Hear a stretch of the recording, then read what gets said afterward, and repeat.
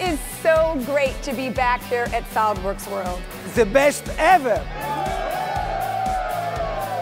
An amazing community of innovators, very demanding people. It's great to have big, big dreams.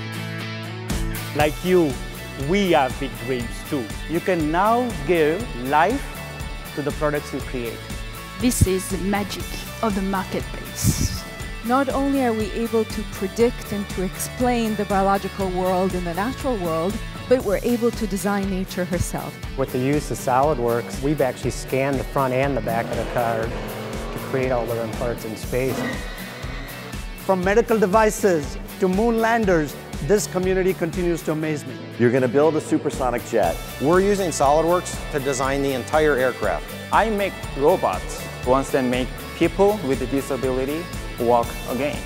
SolidWorks, along with our partners, continues to push the boundaries on design and innovation. This is how, for example, I might see a complex assembly come to life. Inside the classroom, SolidWorks educators inspire their students. You will learn more in three or four days than you will the rest of the year. I'm really excited about some of the things that they're offering and I didn't even know that the software was capable of. Knowledge continues to be a formidable weapon, especially in the hands of innovators like you.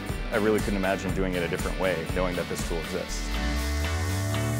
When you actually put it all into CAD and put it into SolidWorks, you realise what's possible and what isn't. This whole design process was started 12 months ago, and we now have a completely finished production-ready jetboard. Special Effects built this rig. They actually built it in SolidWorks. The lamps in the upper right there and the seats that they're on, that's SolidWorks for you.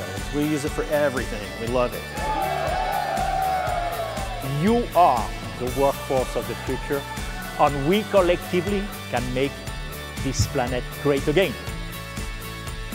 Thank you very much for your help, for your attention, for your love.